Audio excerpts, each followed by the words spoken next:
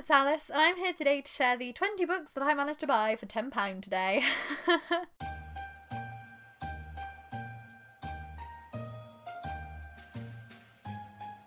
So we went to a jumble sale and it was a mistake because all the books are 50p, so I bought £10 worth.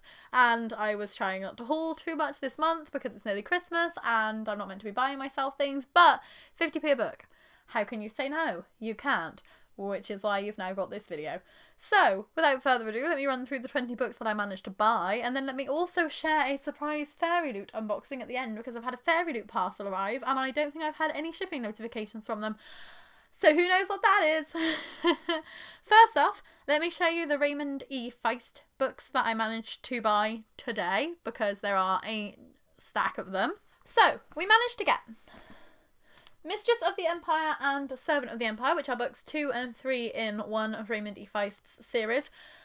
Annoyingly enough, the first book in this series was in a charity shop the other day, and I didn't pick it up because I hadn't heard of the series. So now I've got both of these for a pound, and I can't get hold of the first one. So I'll keep an eye out for that and hopefully hold that at some point.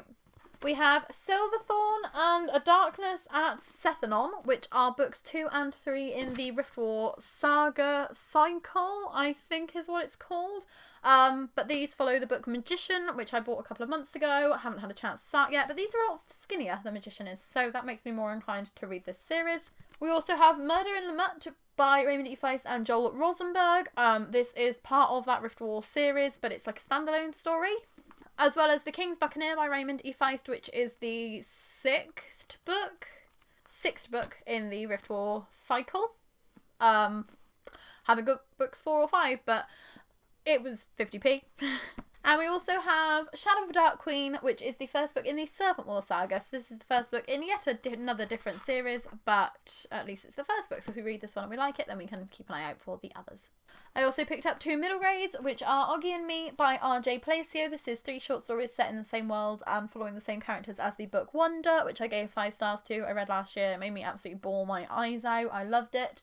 Um, I've actually read the Julian short story as a ebook out of my library, but I haven't been able to get hold of the other two, and now I have them. And I also have A Place Called Perfect by Helena Duggan. I've seen this one recommended on JadeyRaeReads' channel because the art is by Karl James Mountford, who is her favourite cover artist. Um, so I grabbed this one because I really like the style.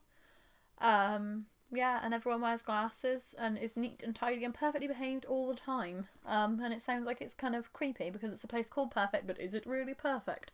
So, excited to read this one. I then got an absolute stack of Terry Goodkind books because there were seven of those and I got all of them because, as I said, 50p each. Can't go wrong. So, I got Wizard's First Rule, Stone of Tears, Blood of the Fold, Temple of the Winds, Soul of the Fire, Faith of the Fallen, and The Pillars of Creation, which are all from the Wizard's First Rule series. This is actually the first seven books in a row. I didn't know that when I bought them. I just picked them all up because a friend had recommended Terry Goodkind to me, and I was like, yeah, that's definitely something that's been recommended, and I'll grab them because they're 50p each, and I didn't realise it was like consecutive books in a series. But I hope I enjoyed the first one, or why have I got seven of these, but 50p each. That's why. I also got The Woman in the Woods by John Connolly. This is book, I don't even know what number in the Charlie Parker series. 16. I have the first 12. I don't have 13, 14 or 15 yet, but now I've got 16, so I can start collecting those as I spot them in charity shops and eventually catch up on the series. I've read the first one. But I really loved it. I really, really loved it. So much so that I know I'm going to binge through these eventually, so I just keep picking them up, especially when they're 50p and it's like brand new hardback condition. I also have two Robert Jordan books, The Fires of Heaven, which I do already have in a trade paperback style, um, but it's very, very bashed up and falling apart, so I think if I try to read that one, it might just kill it completely. So I'm going to read this one and then donate it again, because it does have like a miscut, and all of the all of the words go very, very close to the bottom of the page, um, and we nearly lose some of the story. Um, so we'll read this copy when we get to book five. We're currently stuck in the middle of book four three, four, definitely four. Um, but yeah, when we eventually get to book five, this will now be the copy that we read. And we also managed to pick up book 11, which is Knife of Dreams. We had books 1 through to 9 and book 13. Um, we've now got book 11, so we just have to look over 10, 12, and any after 13, 14, and 15. And the prequel.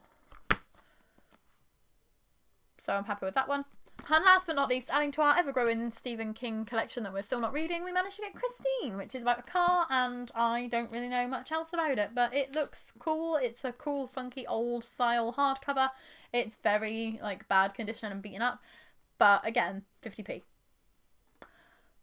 I can't go wrong. So those are 20 books that I managed to get for £10 and I'm really really chuffed because like this by itself is going to give me hours of enjoyment because they're so so chunky and this is meant to be eight ninety nine if I bought this brand new. So to get 20 books for £1 and one penny more than one of these brand new I'm I'm happy with it. And this is why I always go to jumble sales and I always go charity shopping and I hate myself for it. And why we've had to do a mid month book haul rather than just waiting until the end of the month because we would have had too many to talk about once I get my Christmas presents and things because I'm pretty sure I'm gonna have some books in there. I normally get books for Christmas. But now let me move on to my surprise fairy loot unboxing. I will grab my parcel. I have grabbed my parcel and we'll find out together what the hecky deck is in her because I have no idea.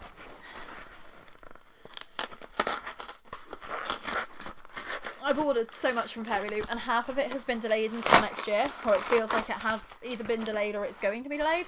Um, I can't think of anything I'm still expecting to arrive this year, but we're going to find out together, and it is bright blue.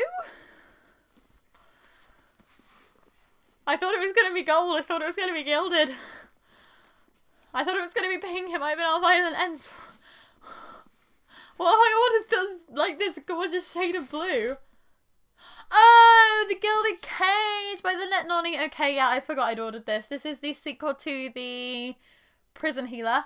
Um, oh, it has like a dagger and some flowers. That's really cool. And it's got the block spray at the top and the bottom. It is signed by Lynette Noni.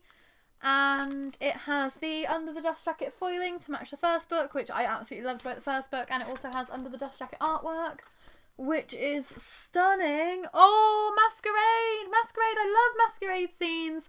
Oh, okay, I'm really excited to read this one now. I mean, I really liked the first one of these. It was a little bit kind of cliche YA, but in like the best way, and it was really reminiscent of some of the best YA that I've read. Um, so I'm looking forward to reading this book and then eventually reading on and reading book three in May, I believe. So thank you, Fairy Loot, for sending this through because I'd forgotten I'd ordered it, and this has just made me a very happy girl. and thank you for watching this video. I hope that you enjoyed the fact that I have hauled too many books and it's only 10 days, 11 days into December. Uh, whoops. My house is full of books and it's a problem. But I will eventually read some of them, I hope. If you like this video, please give it a like. If you'd like to subscribe, we would be super duper grateful. We're posting a new video every single day in December, so we'll see you tomorrow with another one. Bye! Also, do you love my Pusheen Christmas shirt? Because this shit is just too cute. It's just too cute. It's Pusheen and it's Christmas. I love it!